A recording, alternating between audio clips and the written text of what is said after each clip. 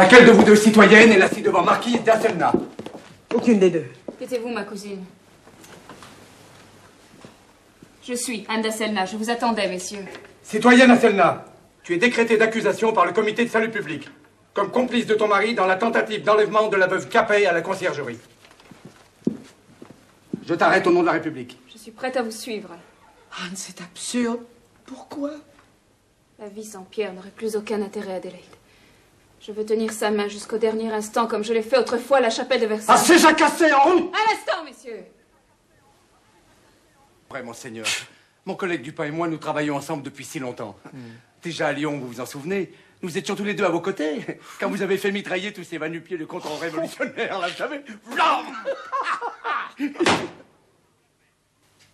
Savez-vous où je vais de ce pas? Chez l'empereur, qui m'a convoqué dans une demi-heure pour que je lui fasse mon rapport sur cette affaire. Sa Majesté attend que je lui apporte sinon le vicomte d'Aubecourt dans sa totalité, du moins sa tête. Alors Que vais-je lui dire? Dupin Eh bien, Willy, bon, un peu de nerf, sacre Dieu. C'est un pâté que tu portes, pas la Sainte-Ampoule Oh, bien hardi, maître Cornelis. Aucun aubergiste de Dijon n'oserait parler ainsi de notre duc. C'est sans doute que les bourgeois ont l'esprit moins docile que vos tranquilles Dijonnais, messire. Les seuls qui le soient encore moins que nous, ce sont les Parisiens, à ce qu'il paraît. Les Parisiens sont pires que tout ce que vous pouvez imaginer, maître Cornelis. Ah, en vérité, vous, vous les connaissez donc si bien? Je ne peux plus les connaître. Bienvenue à vous, madame.